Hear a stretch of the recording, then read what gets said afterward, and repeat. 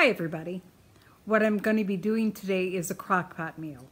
It's called chicken chasseur, otherwise known as hunter's chicken. It does wonderfully in the crock pot.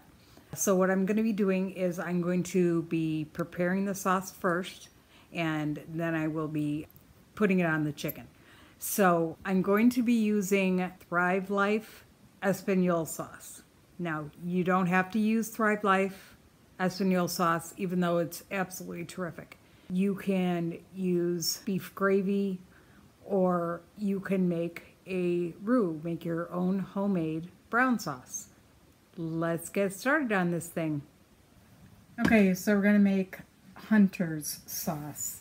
Hunter sauce is primarily an Espagnole sauce. Make a brown roux and add vegetables to it.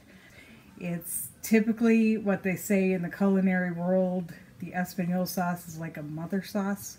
If you choose, you can make a roux with butter and flour and everything, but today, for expedience sake, I'm going to be using the Thrive Life Espagnole sauce.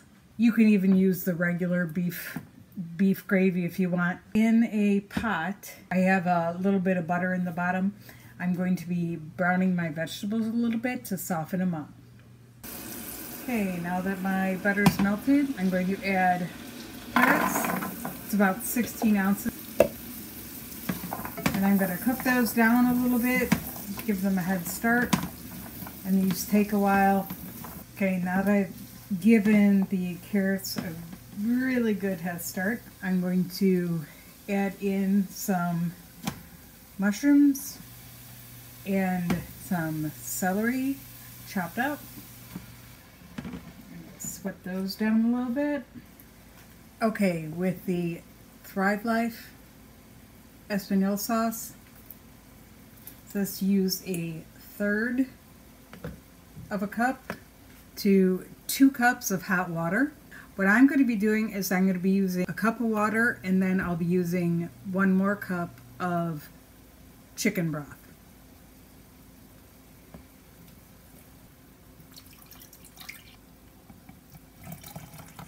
I'm going to give this a little whisk.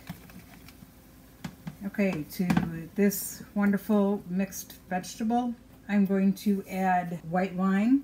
I got this at Trader Joe's. I needed a smaller one. I didn't want to open a big bottle of wine for this. Pour in a little bit of white wine. Get the flavor going in here. And turn up the heat a bit so I can boil off the alcohol. And then I'm going to be using a little bit of brandy. And then I'm going to reduce this by about a half. Okay, all the alcohol has burned off and it smells excellent. To this, that I'm going to pour it straight in the pan.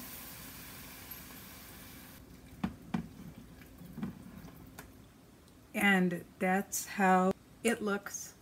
Now it's time to season it.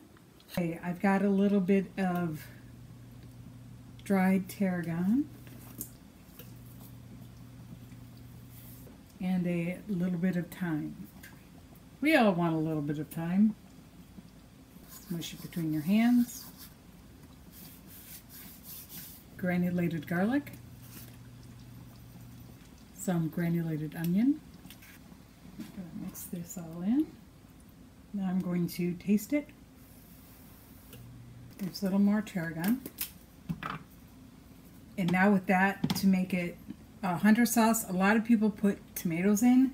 I'm not putting tomatoes in, I'm putting tomato paste. A lot of people like to put the step of the tomato paste in when they're frying the vegetables. I, however, did not do that this time. To this, I'm going to be adding some Maggi seasoning. Not very much, about fourth of a teaspoon. And to that, I'm going to add a little bit of Worcestershire sauce. Just needed an extra little deepening of the flavor. Okay, I'm going to simmer this for just a little bit and we'll be back to do the rest. Okay, in my crock pot I have eight chicken thighs. They're partially thawed, not all the way. And on the bottom, I put a little bit of the hunter's sauce. So with the chicken on the bottom here, I'm going to pour the hunter's sauce over it. Getting all that sauce yumminess in there. And I'm going to make sure that some of the sauce gets near or on the chicken that's at the bottom. That's how it looks in the crock pot. Okay, so I'm going to cover this.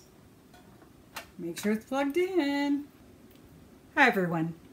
So what I did was I set the crock pot on high for six hours. I've made this recipe before. It's a family favorite. So it turns out wonderfully. Please like and subscribe and share if you want. And please hit the bell twice to get notifications of any other future videos I put up. Thanks very much. Everybody have a wonderful, wonderful evening. Bye-bye.